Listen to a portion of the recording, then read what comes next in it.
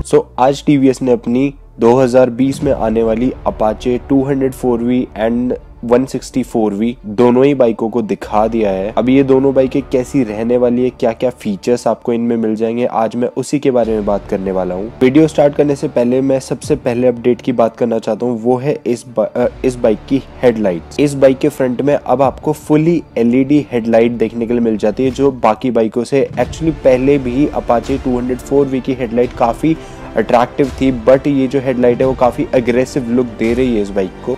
और ये काफ़ी अच्छी बात है जो कि 204V के लुक को और ज़्यादा एग्रेसिव बना देगा। और जो सेकंड अपडेट है इस बाइक को लेके, वो है इसका एफ़ को लेके। इस बाइक में आपको R T F I tuned fuelled injection देखने के लिए मिल जाएगा, जो कि टीवीएस ने ज़्यादा परफॉर्मेंस के लिए ट्यून किया है। टीवीएस ने इसको ज़्यादा माइलेज के लिए नहीं, ज़्यादा परफॉर्मेंस के लिए ट्यून किया है, इसलिए आप इससे एक्सपेक्ट नहीं कर सकते कि ये गाड़ी आपको अच्छा माइलेज देगी। हाँ अच्छी परफॉर्मेंस आपको इस बाइक से ज़रूर मिलेगी। रेस ट्यून्ड एफआई से आपको प्रॉफिट मिलेगा कि इससे थोड़ा कम नहीं तो इस सेगमेंट में इससे अच्छी परफॉर्मेंस आपको देखने के लिए नहीं मिलेगी।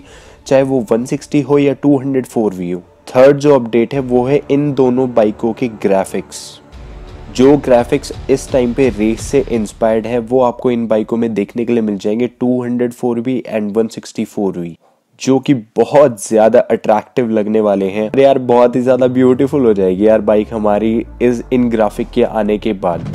काफ़ी लोगों की डिमांड थी कि 164V में भी स्प्लिट सीट्स देखने के मिल जाएगी, जो कि इस बार भी नहीं आई है, और उसमें भी आपको सिंगल सीट देखने को मिल जाएगी एंड जो 204V है, उसमें आपको स्प्लिट सीट देखने के लिए मिल जाएगी।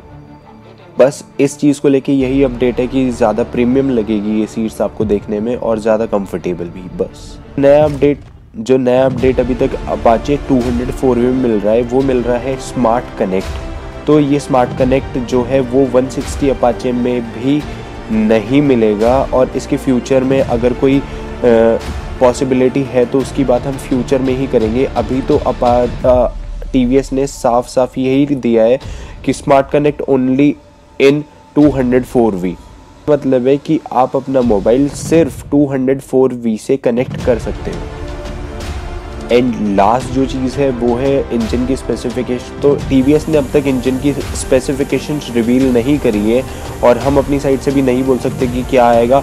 आगे इन फ्यूचर अगर कुछ भी स्पेसिफिकेशन मिलती है, कुछ भी परफॉर्मेंस से रिलेटेड मिलता है तो मैं उसके लिए एक नेक्स्ट वीडियो बना दूँगा और जो इसकी प्राइसिंग रहेगी वो तीन हज़ार से लेके आठ हज़ार के बीच में ही बढ़ी है इससे ज़्यादा नहीं बढ़ेगी। पॉसिबिलिटी यही है, बाकी जो इन फ्यूचर डिटेल मुझे मिलेगी इन्फॉर्मेशन टीवीएस से मिलेगी, वो मैं आपके साथ शेयर कर दूँगा नेक्स्ट वीडियो में। और जो इस बाइक की लॉन्च डेट है, वो आई है फेब्रे और जो इस बाइक की लॉन्च डेट है वो आई है फेब्रवरी 2020 में आ, मतलब 2020 में ऑटो एक्सपो में आ जाएगी जो कि मार्च में ऑटो एक्सपो होने वाला है। तो दोनों ही बाइक को एक साथ लॉन्च किया जाएगा और जहाँ तक के रूमर र्यूमर है कि पहले लॉन्च हो गए तो ये सब फेक है। ऑटो एक्सपो में ही सबसे पहले ये दोनों बाइकें लॉन्च होंगी उसके बाद ये शोरूम्स में आपको देखने के लिए मिल जाएँगी।